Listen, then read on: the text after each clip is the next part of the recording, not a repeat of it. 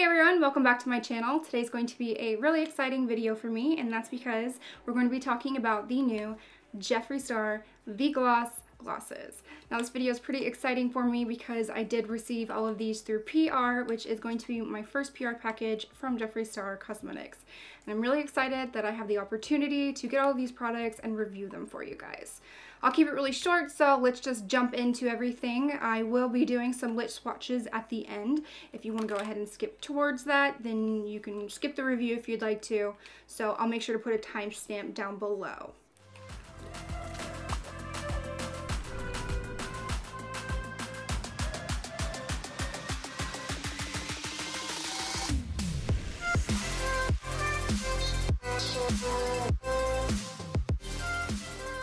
So this is Jeffree Star's first line of glosses. He's never released glosses before, so this is his first formula and the first shades that he's releasing to the public.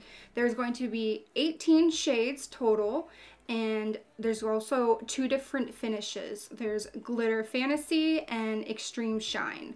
I will be doing some swatches here pretty soon so you guys can see the difference between the two. 12 of the lip glosses will be Glitter Fantasy, which obviously will have a lot of glitter in it. And then another six of the glosses will be Extreme Shine. So they're really shiny, but they don't have any glitter in them. So here's an example right here. As you can see, this one right here has a lot of glitter in it, and then this black shade right here doesn't have any glitter in it. So as you can see, the new gloss containers are pretty similar to the concealer, just a little bit different. This container actually reminds me of the Space Needle. I don't know if you've seen it in Seattle before, but I feel like it's really similar looking. I think it's cool. Each lip gloss will have 4.5 milliliters of product in it, and they will all retail for $18 a piece.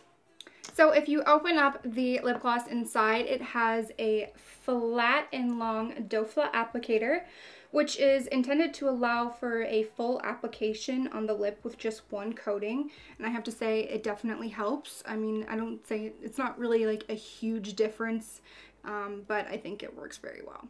It does have a sweet creme brulee smell, kind of vanilla but um, it's not too strong, it's not too overbearing. It does not have a taste though, which I mean it might sound a little bit childish of me, but when I wear lip gloss I kind of like it to have kind of a taste to it because it seems like when I wear lip glosses, I tend to kind of get it in my mouth a little bit more than I would any other sort of lip product. So I kind of like it when there's a little bit of taste, but that's really not like an issue at all. It doesn't taste bad. It just doesn't taste like creme brulee. The smell is not really overbearing. It's pretty much faint and soft. It's not like there's a creme brulee sitting right under your nose all day. However, it might make you want to go pick up one. So I personally am not a huge lip gloss fiend. I don't own a lot and I don't wear a lot. I do occasionally from time to time, but I just feel like lip glosses are really sticky and I honestly prefer a dry lip product just locked to my lips. Even a creamy lipstick is okay, but glosses, I feel like my hair gets stuck in it all the time and it's just really annoying. But as a person that's not into glosses, I have to say I do like these. They really feel very good on the lips. They're not really sticky. They're not super tacky. They feel pretty good. The lip glosses are not fully pigmented, which it's intended to be this way so that you could wear it sheer and alone or on top of a lip product to make that lip even more bold. Right now I am actually wearing Jeffree Star's Family Jewels liquid lipstick, which was just added to his permanent collection. And then I'm also wearing the, what's it called?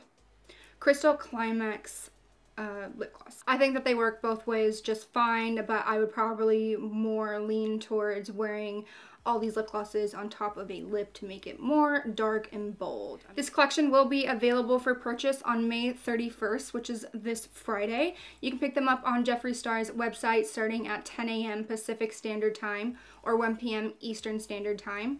And if you have one near you, you can also go to a local Morphe store and pick them up there because they will have them at the store and ready to purchase on Friday. He did also add a bunch of new liquid lipsticks to his permanent collection. All of these new lipsticks were limited edition and his fans said, hey, we need them back. They're that good.